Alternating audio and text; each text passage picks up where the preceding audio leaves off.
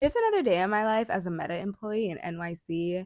Here's me right before I headed into the office and when I headed to the train and witnessed this absolutely phenomenal performance. Here's a little clip.